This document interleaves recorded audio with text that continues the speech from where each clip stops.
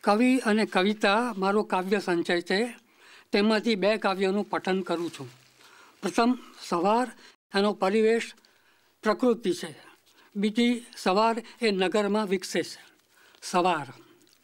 ફૂલોના ઝાકળે નાહી, રૂપાળા સમણા સયા, સુવાળા પગલા એના શોધતા તારકો પડ્યા.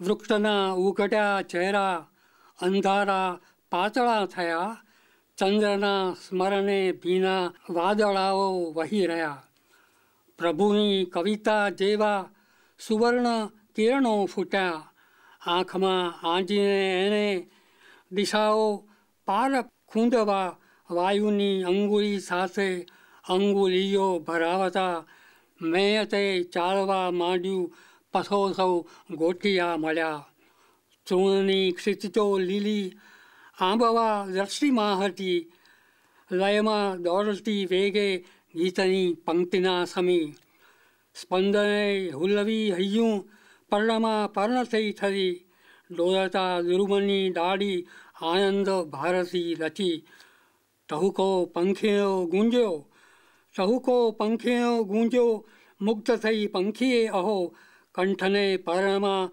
વહેતો વહેતો કરી દીધો સવાર ઊંઘના સડેલ ગુણિયા પરે પટેલ શેરનો સળંગ વાંક ચૂકથી વળેલ માર્ગ સૂર્યના પીળા શિખા તરત તૂટી જતા અનેક કિરણો ઉઠે લાગરો ઉઠ્યો તરત હડી દીધી તરત અવાજ અવાજમાં ડૂબી ગયો વસી હવા બગાસું બડબડ્યું વળ્યો અવાવરું વિચાર ક્યાંક ગાભરો ઉઠેલ હાથ ખોળતો સવાર સવાર ક્યાં સવાર છે અહીં અનેકની ફટેચ આંખમાં અનેક સ્વપ્ન ધૂંધળા હજી